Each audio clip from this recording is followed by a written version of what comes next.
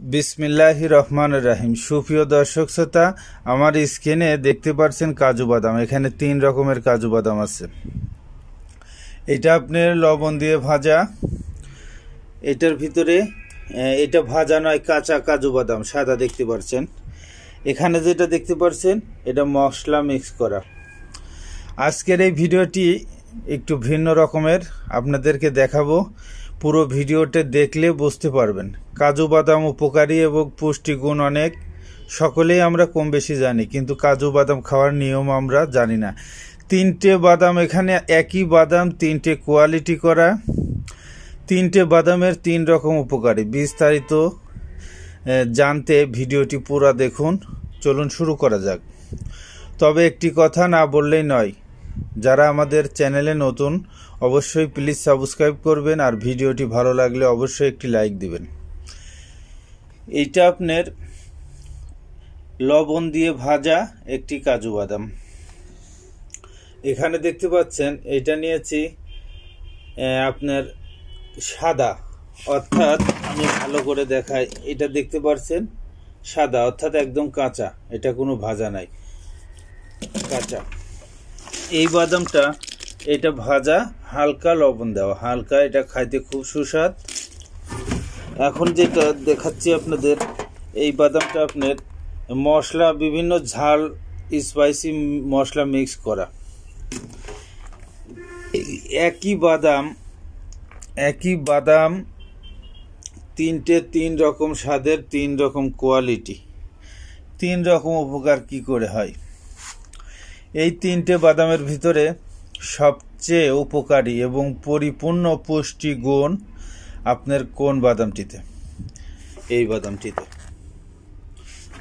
এই বাদামটিতে কোনো কিছু করা নাই। না ভাজা, না কোনো মশলা দেওয়া অরিজিনাল গাছ থেকে পেরে সোলার পরিষ্কার করার পরে এটা এইরকম ফ্রেশ, পরিপূর্ণ পুষ্টি এই বাদামটিতে, এই সাদা বাদামটিতে। অর্থাৎ এটা কাঁচা বলে সাদা দেখাচ্ছে। এইটাই সবচেয়ে উপকার কম। এটা যেমন ভাজা, তারপরে আপনার বিভিন্ন ধরনের মশলা মিক্স করা। এই বাদামটাই তার থেকে আরেকটু উপকার কম। এটা আপনার লবণ দিয়ে মিক্স করা। তাহলে আমরা কোন বাদামটি সুস্বাস্থ্যের জন্য খাব এবং খাওয়ারই বা নিয়ম কি? পুষ্টিকরী উপাদান যে কোনো জিনিস অতিমাত্রায় খাওয়া ভালো নয়, আমরা সকলেই জানি। এবং বেশি খেলে অনেক ক্ষতি হতে পারে। কাজু বাদাম সবসময় সুস্বাস্থ্যের জন্য পরিপূর্ণ পুষ্টি পেতে, পরিপূর্ণ পুষ্টি পেতে আপনার ফ্রেশ, একদম ফ্রেশ, ভালো মানের কাঁচা বাদামটি বাজার থেকে ক্রয় করবেন। ক্রয় করার সময় অবশ্যই আপনাকে খেয়াল করে সতর্ক হয়ে ফ্রেশ বাদামটি ক্রয় করতে হবে। আর এই তিনটে বাদামের ভিতরে তিনটেই দেখতে পাচ্ছেন, ঝাল, কাঁচা, লবণে ভাজা, মশলায় ভাজা। সবচেয়ে উপকারী আপনার এই বাদামটি। সবচেয়ে উপকারী এই বাদামটি এই বাদামটি আপনার প্রতিদিন অতিরিক্ত খাওয়া লাগবে না। এক কেজি বাদাম কিনলে আপনার এখানে কয়টা? তিন, চার, সাত। আমার এখানে দেখতে পাচ্ছেন, আমি কয় পিস বাদাম নিয়েছি? তিন আর চার, সাত। এই সাত পিস বাদাম প্রতিদিন সকালে পানিতে ভিজিয়ে রাখবেন।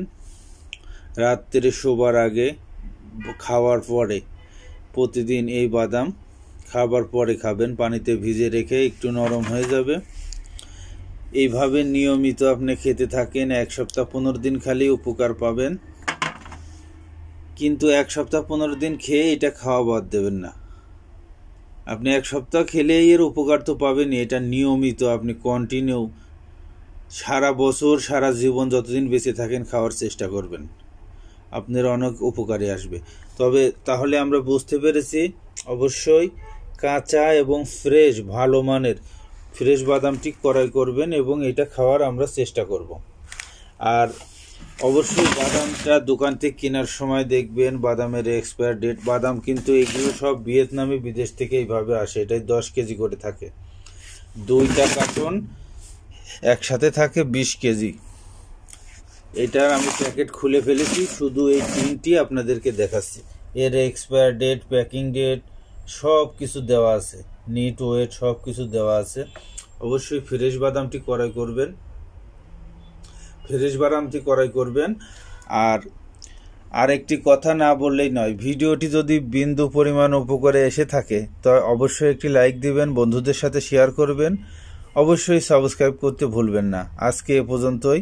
আবার অন্য কোনো ভিডিও নিয়ে আবার ইনশাল্লাহ দেখা হবে। আসসালামু আলাইকুম ওরহমতুল্লাহি ওবরকাতু